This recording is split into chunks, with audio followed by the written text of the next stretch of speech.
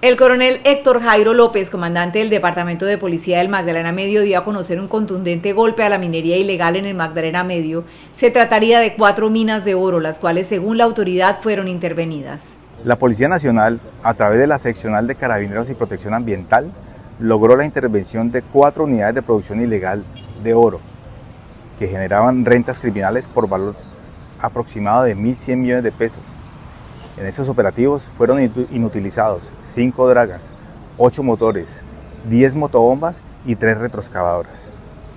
Quiero decirles que la Policía Nacional seguirá trabajando de manera conjunta con la Fiscalía General de la Nación con la finalidad de contrarrestar la minería ilícita y proteger los recursos naturales de nuestro país.